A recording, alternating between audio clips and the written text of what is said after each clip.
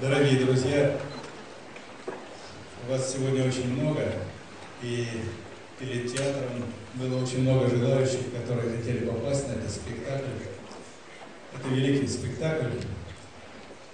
Им мы заканчиваем Дни Иркутской области в Москве. Трагический спектакль, может быть, не хотелось им заканчивать, но это Распутин. Поэтому мы заканчиваем этим спектаклем.